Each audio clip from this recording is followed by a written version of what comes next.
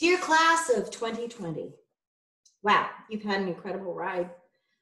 During your four years of, at Flagler, you have experienced some incredible challenges as well as changes. The year you arrived was the year of Hurricane Matthew. The following year was Hurricane Irma, and last semester, Hurricane Dorian. But here you are.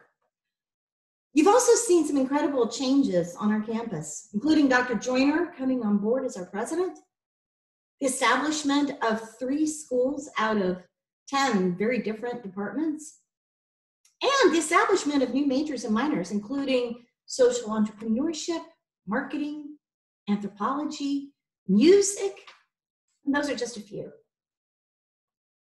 You are an incredibly resilient, tenacious, and committed group of students.